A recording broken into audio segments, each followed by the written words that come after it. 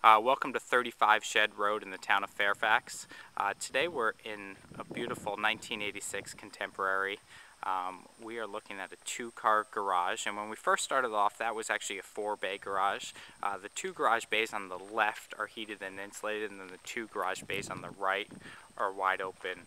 Uh, just great for storage, whether it's boat storage, motorcycle storage, or a little workshop. It's really set up very well in that detached building. So one of the highlights of this home is the Mount Mansfield views. Um, each room um, is focused with Mount Mansfield views. It's going to be tough to see with all the light that's getting poured in and with this camera, um, but as we swing on through, um, the Mount Mansfield views are about to come into view right now. Really well framed on this great lot. So it's a three bedroom, two and a half bath contemporary. Uh, two of the bedrooms are upstairs. The master has a giant walk-in closet and a large jacuzzi tub. And the owner's done a really great job of installing newer pre-finished Brazilian cherry floors uh, throughout this lower space. Really showing well. Wide open living space. Uh, so we're actually walking into the living room right now, which offers some alternative heat with the wood stove right in the middle. Uh, each room does have great views of Mount Mansfield.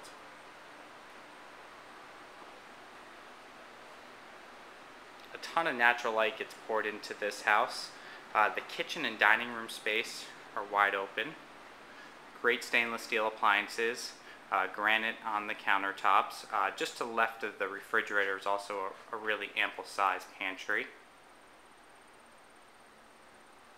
One of my favorite rooms in the house is the family room, uh, located just off the dining room and kitchen, which is coming into view right now.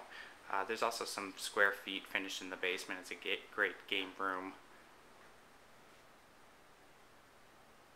Beautiful cathedral ceilings, ton of natural lights getting poured on in. So as we swing on around, the dining room opens up into a large wraparound deck.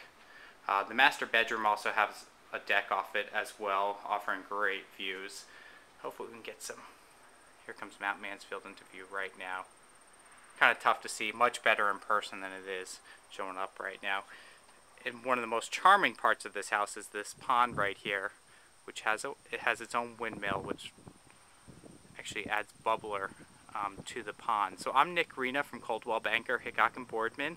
Please feel free to give me a call to set up a showing, 802 846 9559 or check out my website for more information www.vermontinvestments.com.